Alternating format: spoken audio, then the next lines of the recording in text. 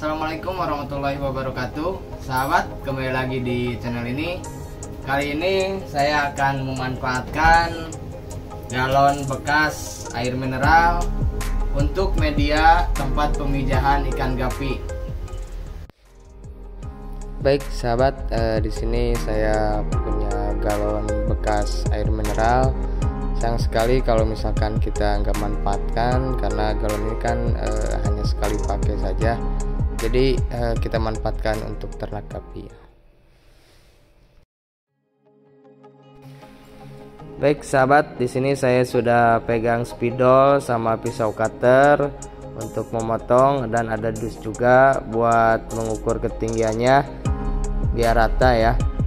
Jadi sahabat eh, kita tandai menggunakan spidol ini. Kita putar aja galonnya biar sama rata harusnya ini di tempat yang rata ya sahabatnya. Jadi nggak bergelombang seperti ini. Ini hanya contoh saja bahwa e, untuk mengukurnya seperti itu. Nah setelah kita beres kita persiapkan e, cutter untuk memotongnya.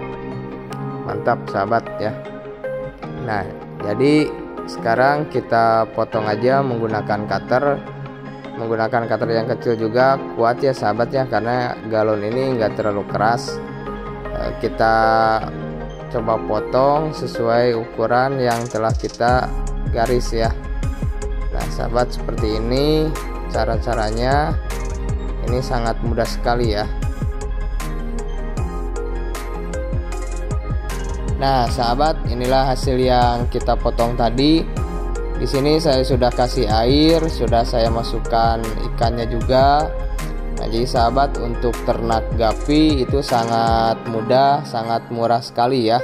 Karena galon bekas ini kalau kita beli juga berkisar di angka 3000 sampai 5000. Tapi di sini saya memanfaatkan bekas eh, minum di rumah saya ya daripada numpuk lebih baik saya manfaatkan ini untuk beternak ikan gapi ya baik sahabat semoga eh, channel ini bermanfaat tutorial ini bermanfaat juga ya.